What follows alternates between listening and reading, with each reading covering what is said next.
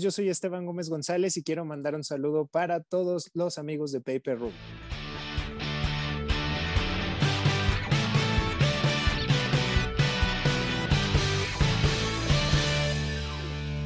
Después de todos estos años, obviamente es la experiencia y el sentimiento de hacer música, porque creo que pueden pasar varias cosas. Puedes o perderte totalmente como en un loop sin final, donde haces las cosas por a lo mejor porque solo es un negocio o bien dejas de hacerlo o te retiras porque pues es una carrera difícil en el aspecto de que ah, pues para trascender tienes que pasar por muchos lados y tienes que eh, hacer muchas cosas para, para nunca pasar a, o para que nunca te olviden como tal, para quedarte como en, en, en el lugar en el, que, en el que quieres estar, ¿no? Entonces, no voy a decir que todo es bueno, hay muchas cosas que son muy buenas, hay muchas cosas que están muy padres, pero hay muchas otras cosas que salen de ti que son malas. O sea, conforme vas creciendo, también vas encontrando muchos tipos de personas que a lo mejor no te dan los mejores consejos, muchas experiencias que también son desagradables al momento de tocar. Sale también muchas cosas tuyas, o sea, cuando eres un músico dedicado a totalmente a tu música, también salen todos esos demonios que puedes traer adentro, como de cosas, eh, frustraciones, traumas, etcétera, que, que a lo mejor no se ven en la música, o puede que sí, pero eh, se pueden volver también nocivos en, en algún momento, ¿no? Entonces, en conjunto, yo creo que es un proceso como bien padre de encontrarte a ti mismo. Cuando eres músico, creo que es una de las formas más fáciles de entender quién eres y, de cómo te desarrollas con el mundo, porque eso es al final lo que haces. A través de tu música te conectas con otras personas y a través de tu música otras personas conocen lo que tú eres como de esencia, en esencia. E, el mensaje que yo quiero transmitirle a las personas es la forma en la que yo veo la vida. A, mí me gusta ver la vida como aceptar lo que sea que tenga que venir en el aspecto de que si las cosas son raras, no hay que cerrarle la puerta a las cosas, o sea, hay que aprender de la vida, hay que escuchar las cosas, hay que entender por qué las cosas pasan, porque muchas veces, e igual, en la música estamos a veces cerrados a escuchar otros géneros o a veces cerrados a escuchar otro tipo de música porque ya trae una etiqueta y entonces decimos, no, esto no es lo que a mí me gusta, esto está horrible, ¿no? O es lo que escuchan todos, entonces yo no quiero escuchar lo que escuchan todos y yo quiero ser un bicho raro y solo escuchar las tres canciones que me gustan, etcétera. Y, con la música, pues es, es diferente, o sea, a mí me gusta, yo no estoy intentando encontrar el hilo negro de algo, yo no estoy intentando como inventar un nuevo género o ser el mejor artista. Yo lo que estoy intentando es representar mis sentimientos a través de lo que yo hago, que creo que es la forma en que se puede conectar más fácil con las personas, porque al final todos somos humanos, todos lloramos, todos somos felices, todos sentimos, y entonces a través de esa música que yo hago, quiero encontrar la manera orgánica de hacerlo, o sea, de acercarme a las personas y que digan, hey, yo también me siento así, hey, yo también tengo ganas de hacer esto, hey, yo también estoy contento y quiero cantar y realmente no me importa si les gusta a los demás o no les gusta a los demás, ¿no? Sino es esta, esta misión de mostrarle a la gente que no pasa nada si tú eres, ahora sí que, aunque se escuche extraño, si eres tú mismo.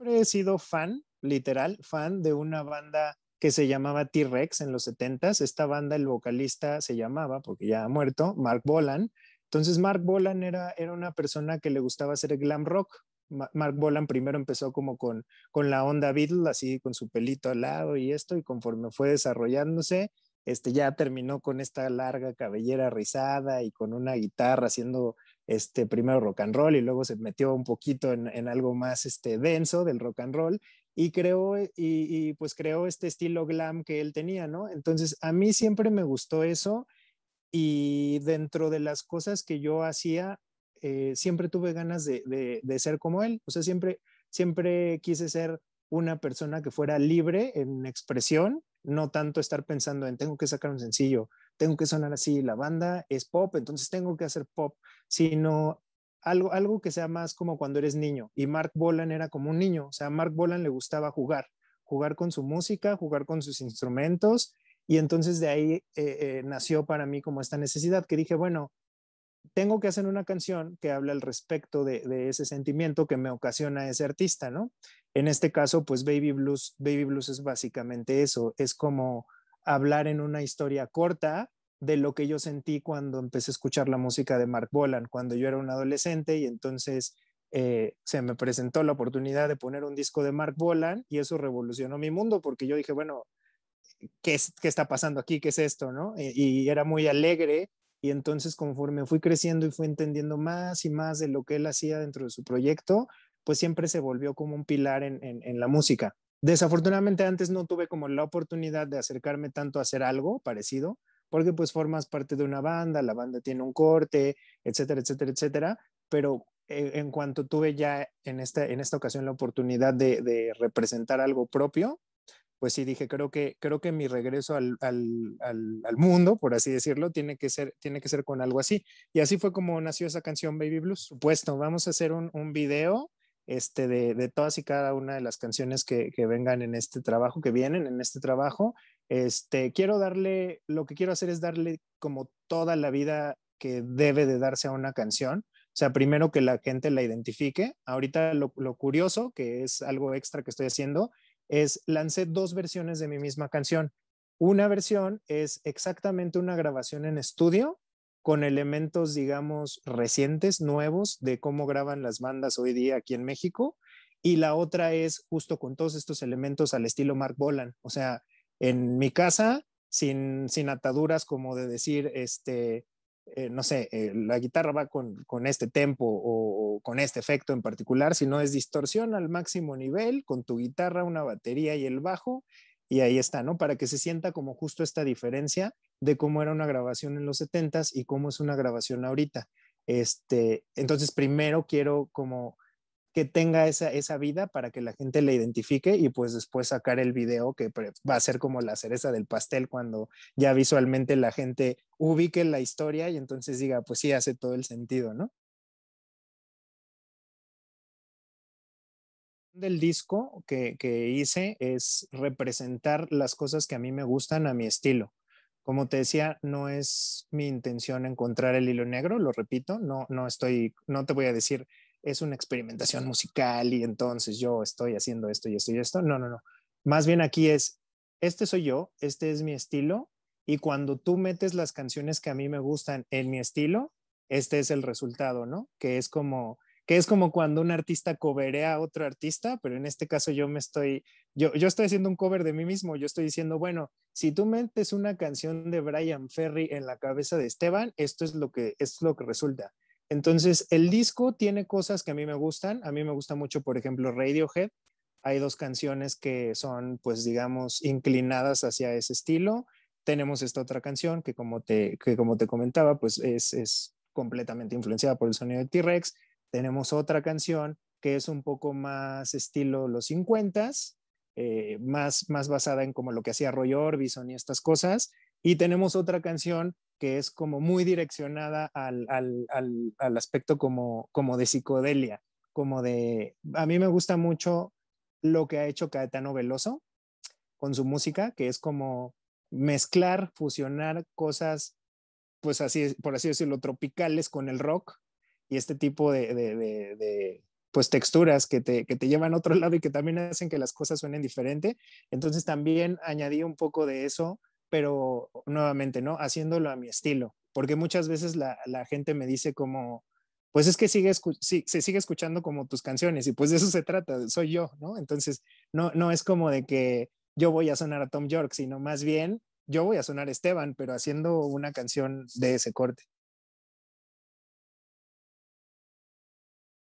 Pero yo creo que es un proceso normal. Eh, digo muy diferente porque, repito, no es un proceso fácil porque el público que me conoce, poco o mucho, ya está acostumbrado a un formato de mí.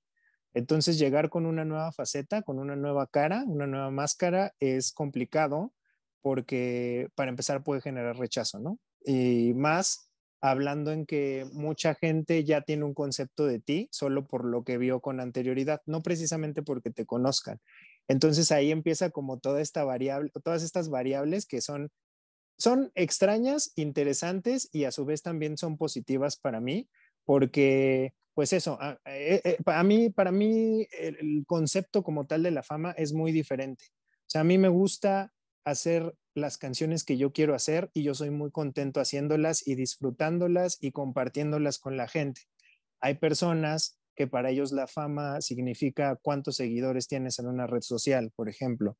Y si tú no tienes 20 mil seguidores, entonces no eres famoso, no eres nadie pero como músico realmente yo no lo veo así, o sea, realmente a mí eso, eso no me importa, ¿no? Entonces esto a lo mejor se puede tomar a mal y siempre durante este periodo se ha tomado como un poco rebeldía de mi parte, por así decirlo, por no querer, pues a lo mejor, no sé, por no querer ver las cosas de esa forma, ¿no? Entonces en este nuevo periodo básicamente yo me he concentrado en conocerme, en saber qué es lo que quiero hacer de mi música y eso, y todas esas cosas negativas o todo ese proceso difícil de aceptación, pues ahorita se refleja en música. Ahorita es como, pues yo, sal, yo voy a salir con la música que yo tengo, ¿no? Y esto pues obviamente les va a gustar porque es una nueva introducción a un nuevo mundo que no habían conocido de mí. O sea que al final, repito, es la misma eh, estructura, por así decirlo, porque yo soy el compositor y siempre he sido el compositor de mis canciones, pero es otra perspectiva, porque al final, pues ahora sí es un Esteban libre, no es un Esteban que va sobre, sobre un guion,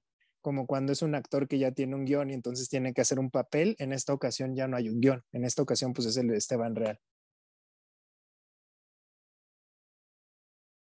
complicada la parte física porque pues todos estamos sufriendo un poco. Espero que pues poco a poco y gradualmente vayamos mejorando. Eh, yo sí quisiera mantener la modalidad híbrida, le voy a llamar así, eh, ahorita voy a tener un primer show el, el, día 26. Es un show pequeño porque obviamente pues no, no podemos arriesgar al público ni arriesgarnos nosotros como músicos, pero sí yo busco hacer, hacer esto híbrido. Yo no quiero dejar de lado la parte del streaming porque siento que es una parte que no se ha explotado correctamente. Al menos aquí nosotros en México creo que no se ha explotado correctamente porque aún hay gente que dice, es que no es lo mismo porque a mí me hace falta sentir la música, ¿no? Quiero vivir eh, la experiencia otra vez. Pero yo creo que eso se, eh, eh, va de la mano con cómo tú manejas la presentación, cómo tú manejas lo que, lo que el, espectador está viendo, porque pues lo vemos en un video, ¿no? Un video musical no estás tú ahí en vivo y están grabando el video. Un video musical es una historia que se cuenta de cierta forma, que tiene un formato y eso es lo que te hace que te guste el video musical. Entonces yo no quiero dejar al lado, del lado esa, esa versión, quiero hacer ambas cosas. Obviamente ahorita pues sería hacer shows en vivo con, con audiencia muy limitada y también hacer shows en streaming para los lugares o plazas en donde no se puede ir a tocar. La presentación es el día 26 de junio. Eh, eh, empieza el show a las 6 de la tarde, más o menos. Ser en un lugar que se llama El Serpentino, en Coacalco, esto es en el Estado de México. Eh, los boletos están a la venta en el portal de Boletia, boletia.com, o bien pueden entrar a mis redes sociales, ahorita que, las dé, este, ahí se encuentran los links para, para que sin problema se enteren de este y de muchos otros eventos que puedan suceder. Tocar muy bien. Eh, yo me he puesto en mente de que de, que quiero sonar muy bien para que la gente que me escuche quede realmente satisfecha con el producto final. Porque muchas veces cuando eres músico te gana la emoción o estás nublado por eso, por los seguidores, por cómo es la música y se olvida el verdadero significado de lo que es un show en vivo, ¿no? El show en vivo donde vas a ver un artista y todo es bonito, o sea, porque un show sí debe ser así, independientemente de que la historia de la canción sea triste o lo que sea, el, show en general debe ser bonito, debe ser una experiencia que el público recuerde siempre. Entonces, mi misión eh, de 2021 para adelante es, es cada vez ser un mejor músico y cada vez entregar una mejor experiencia al público que me vaya a ver. La parte que más me gusta de todo, donde, donde hago el anuncio de mis redes, eh, para hacerlo más sencillo, porque creo que siempre busqué esto y esto también me emociona mucho, si ustedes ponen en su buscador Google o lo que sea Esteban Gómez González completo, lo primero que va a salir es todas mis redes sociales y mi cara. Entonces, eh, pues para, no confundirnos en una red social, solo pongan Esteban Gómez González y ahí saldrá. Solo agregaría que no cierren